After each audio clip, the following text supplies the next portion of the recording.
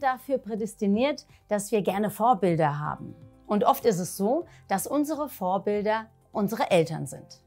Wir orientieren uns von Kind, von klein auf bis zum jugendlichen Alter. Bitte nicht schlagen, versuche immer ruhig zu sein, akzeptiere alles, ne, toleriere alles. Das heißt, ich versuche nur irgendetwas zu werden, was ich vielleicht eigentlich gar nicht bin oder sein möchte.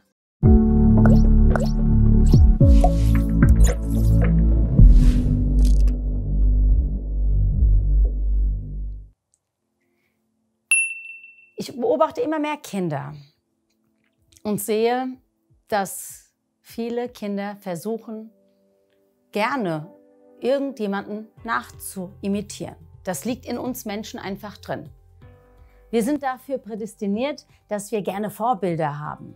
Und oft ist es so, dass unsere Vorbilder unsere Eltern sind. Wir orientieren uns von Kind, von klein auf bis zum jugendlichen Alter. Dass wir sagen, guck, der Papa, der ist Feuerwehrmann und ich möchte Feuerwehrmann werden. Das heißt, wir haben, und das ist auch ganz wichtig, wir brauchen Vorbilder, um einfach unsere Identität selbst zu definieren. Aus diesem Grunde ist es auch was Schönes.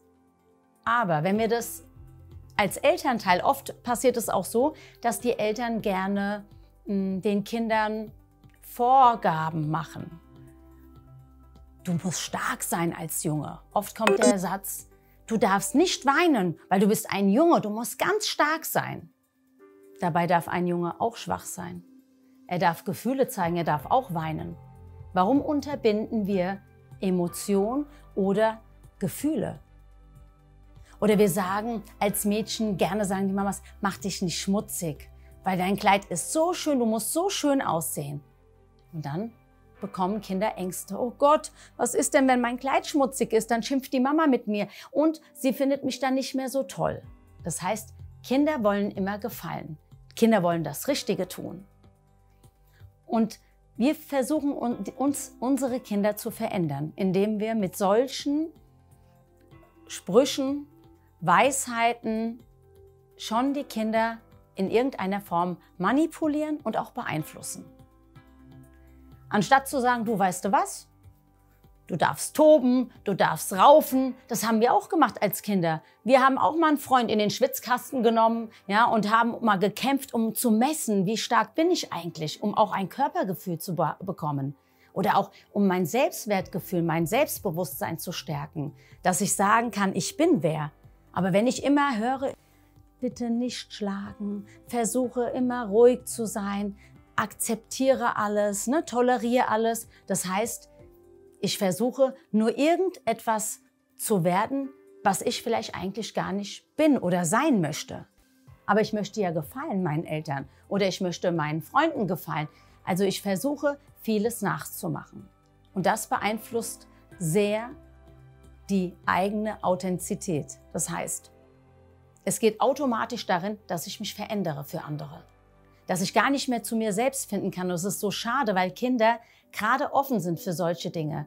Eigentlich sind Kinder das schönste Geschenk. Die Kinder sind eigentlich ehrliche Seelen, die sagen einem, auch wenn es immer hart ist und auch treffend, ähm, immer die Wahrheit. Oder die, die leben ihre Emotionen. Und wenn wir immer solche Einbrüche den Kindern geben und immer wieder da reinkrätschen, unterbinden wir gerade sowas, dass ein Kind sich weiterentwickeln kann oder um seine Persönlichkeit äh, zu stärken, das was er ist, ja. Es ist auch vollkommen in Ordnung, wenn ein Junge vielleicht Friseurin wird, ja. Aber in unserer Gesellschaft, was macht ein Mann? Ein Mann, der ist stark. Am besten wird er entweder Bauarbeiter oder der geht dann äh, als Manager, als Führungsposition oder äh, übernimmt irgendwelche Aufgaben, die ich schon als Papa gemacht habe. Ne? Also das heißt, wir lenken und leiten die Kinder in irgendwelche Bahnen, was sie vielleicht gar nicht sein möchten oder wollen. Warum können wir das nicht akzeptieren? Warum können wir nicht einfach Akzeptanz den Kindern schenken und sagen, hier, was möchtest du mal werden? Oder warum fragen wir nicht einfach? Was sind deine Wünsche? Wo, was willst du machen? Was liebst du? Weil Kinder könnten so toll antworten.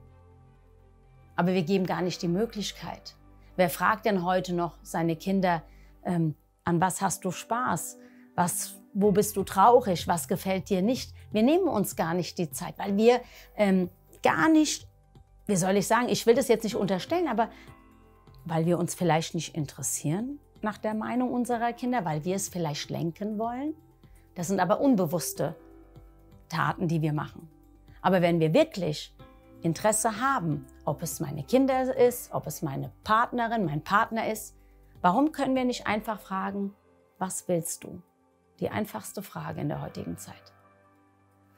Das heißt, um die Authentizität meines Kindes wirklich frei entwickeln zu lassen, einfach Interesse zeigen und das Kind so annehmen, akzeptieren, wie es ist.